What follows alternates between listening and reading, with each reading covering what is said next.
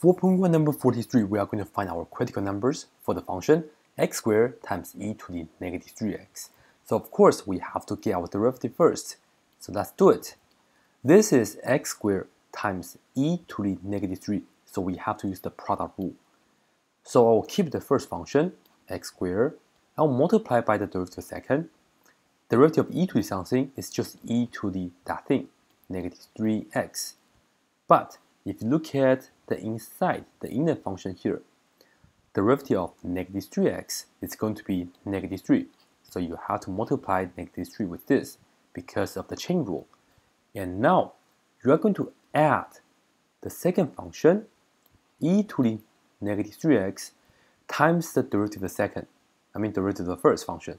Derivative of x squared is going to be 2x, so you multiply by 2x like this.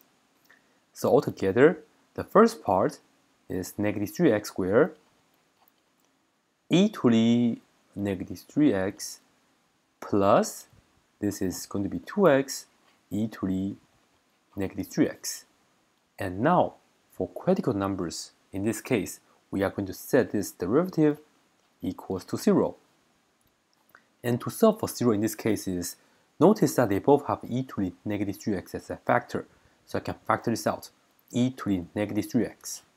On the first part, I have negative 3x squared plus 2x like that.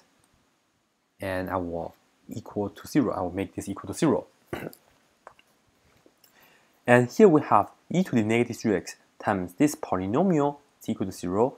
Notice that e to the negative 3x can never equal to 0. So you don't need to consider this at all. So we just have to solve this part we'll have to set negative 3x squared plus 2x equals to 0. Well, here they both have x, so I can factor out the x. And I'm going to end up with negative 3x plus 2 it's equal to 0.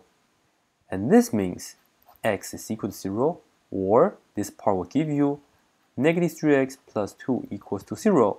And to solve this part, I have to add 2 on both, I have to subtract 2 on both sides. I will end up negative 3x equals to negative 2. Divide both sides by negative 3.